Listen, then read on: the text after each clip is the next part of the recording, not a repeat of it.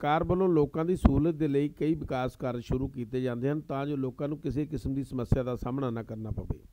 ਪਰ ਕਈ ਵਾਰ ਲੋਕਲ ਪ੍ਰਸ਼ਾਸਨ ਜਾਂ ਠੇਕੇਦਾਰ ਦੀ ਅਣਗਹਿਲੀ ਦੇ ਕਾਰਨ ਵਿਕਾਸ ਕਾਰਜ ਲੋਕਾਂ ਦੇ ਲਈ ਸਰਦਰਦੀ ਦਾ ਕਾਰਨ ਬਣ ਜਾਂਦੇ ਹਨ। ਇਸੇ ਤਰ੍ਹਾਂ ਹੀ ਦਿੜਬਾ ਵਿਖੇ ਪੈ ਰਿਹਾ ਸੀਵਰੇਜ ਸਿਸਟਮ ਲੋਕਾਂ ਦੇ ਲਈ ਜਿੱਥੇ ਸਰਦਰਦੀ ਦਾ ਕਾਰਨ ਬਣਿਆ ਹੈ ਉੱਥੇ ਹੀ ਕਈ ਮੁਸ਼ਕਲਾਂ ਨੂੰ ਵੀ ਇਹ ਜਨਮ ਦੇ ਰਿਹਾ ਹੈ। ਜਿਸ ਕਾਰਨ ਸ਼ਹਿਰ ਦੇ ਦੁਕਾਨਦਾਰਾਂ ਨੇ ਠੇਕੇਦਾਰ ਦੇ ਖਿਲਾਫ ਜੰਮ ਕੇ ਨਾਅਰੇਬਾਜ਼ੀ ਕੀਤੀ ਅਤੇ ਦੁਕਾਨਦਾਰਾਂ ਨੇ ਠੇਕੇਦਾਰ ਦੇ ਉੱਪਰ ਇਲਜ਼ਾਮ ਲਗਾਉਂਦਿਆਂ ਕਿਹਾ ਕਿ ਠੇਕੇਦਾਰ ਵੱਲੋਂ ਕੰਮ ਕਰਨ ਵਿੱਚ ਵੱਡੀ ਅਣਗਹਿਲੀ ਵਰਤੀ ਜਾ ਰਹੀ ਹੈ, ਜਿਸ ਕਾਰਨ ਕਈ ਲੋਕਾਂ ਦੀਆਂ ਦੁਕਾਨਾਂ ਤੇ ਮਕਾਨਾਂ ਨੂੰ ਵੀ ਭਾਰੀ ਨੁਕਸਾਨ ਪਹੁੰਚ ਰਿਹਾ ਹੈ। ਲੋਕਾਂ ਨੇ ਸਰਕਾਰ ਅੱਗੇ ਠੇਕੇਦਾਰ ਖਿਲਾਫ ਸਕੰਜਾ ਕਸਣ ਦੀ ਵੀ ਗੁਹਾਰ ਲਗਾਈ। ਸੀਵਰੇਜ ਪੈ ਰਹੀ ਹੈ। ਇਸ ਵਿੱਚ ਠੇਕੇਦਾਰ ਬਿਲਕੁਲ ਧਿਆਨ ਨਹੀਂ ਦੇ ਰਿਹਾ। ਪਹਿਲਾਂ ਵੀ ਠੇਕੇਦਾਰ ਦੀ ਅਣਗਹਿਲੀ ਕਾਰਨ ਇੱਕ ਬੰਦੇ ਦੀ ਮੌਤ ਹੋ ਗਈ। ਆ ਹੁਣ ਵੀ ਨਾਲਿਆਂ ਦੇ ਵਿੱਚੋਂ ਪਾਣੀ ਵਗਦਾ ਲੋਕਾਂ ਦੀਆਂ ਜਿਹੜੀਆਂ ਦੁਕਾਨਾਂ ਨੇ, ਉਹ ਗਰਨੂ ਹੋਈਆਂ ਪਈਆਂ ਨੇ। ਲੋਕਾਂ ਨੂੰ ਲੰਘਣ ਦਾ ਰਸਤਾ ਬਹੁਤ ਔਖਾ ਹੈ, ਜਿਸ ਤੇ ਠੇਕੇਦਾਰ ਕੋਈ ਧਿਆਨ ਨਹੀਂ ਦਿੰਦਾ। ਜਿੰਨੀ ਵੀ ਜਨਤਾ ਖੜੀ ਹੈ, ਸਾਰੀ ਬਹੁਤ ਦੁਖੀ ਹੈ।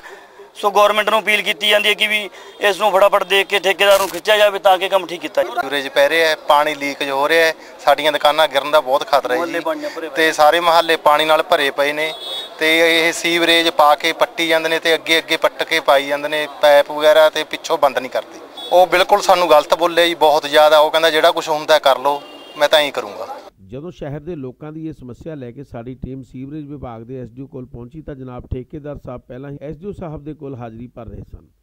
ਐਸਡੀਓ ਤੇ ਠੇਕੇਦਾਰ ਨਾਲ ਗੱਲਬਾਤ ਕੀਤੀ ਗਈ ਤਾਂ ਉਹਨਾਂ ਦੋਵਾਂ ਨੇ ਸਮੱਸਿਆ ਨੂੰ ਮੰਨਦੇ ਹੋਏ ਕਿਹਾ ਕਿ ਕਿਸੇ ਦੇ ਘਰ ਜਾਂ ਦੁਕਾਨ ਅੱਗੇ ਸੀਵਰੇਜ ਪੈਂਦੀ ਹੈ ਤਾਂ ਸਮੱਸਿਆ ਤਾਂ ਆਉਂਦੀ ਹੈ, ਪਰ ਜੋ ਵੀ ਸਮੱਸਿਆ ਲੋਕਾਂ ਨੂੰ ਪੇਸ਼ ਆ ਰਹੀ ਹੈ, ਅਸੀਂ ਉਸ ਦਾ ਜਲਦੀ ਹੀ ਹੱਲ ਕਰ ਦੇਵਾਂਗੇ। ਨਾ ਜੀ, ਪਟਾਈ ਸੀਵਰੇਜ ਸਿਸਟਮ ਆ ਜਿਹੜੀ ਪਟਾਈ ਹੈ, ਉਹ ਐਜ ਪਰ ਡਿਜ਼ਾਈਨ ਸਟੇਟਮੈਂਟ ਹੋ ਰਹੀ ਹੈ।